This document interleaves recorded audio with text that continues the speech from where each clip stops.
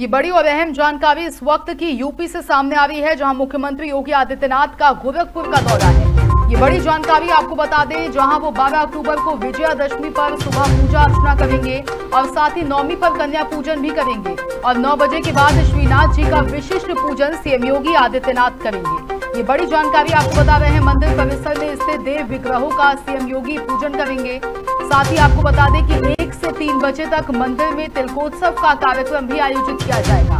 इसमें सीएम योगी शामिल होंगे। और शाम चार बजे गोरक्ष पीठाधीश्वर के रूप में रथ पर सवार होकर वो वहाँ से निकलेंगे।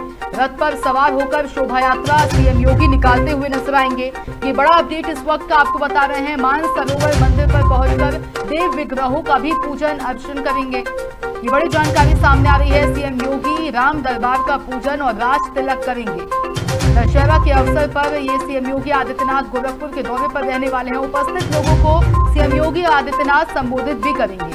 मुख्यमंत्री योगी आदित्यनाथ का ये गोरखपुर का दौरा काफ़ी अहम माना जा रहा है। जहाँ आपको बता दें कि आज वो दौरे के दूसरे दिन मंदिर में पूजा अर्चना करेंगे।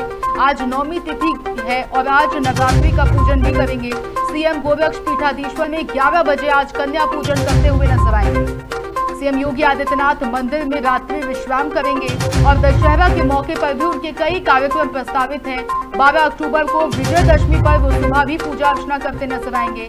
साथ ही आपको बता दें कि 9 बजे के बाद श्रीनाथ जी का विशिष्ट पूजन सीएम योगी आदित्यनाथ करेंगे।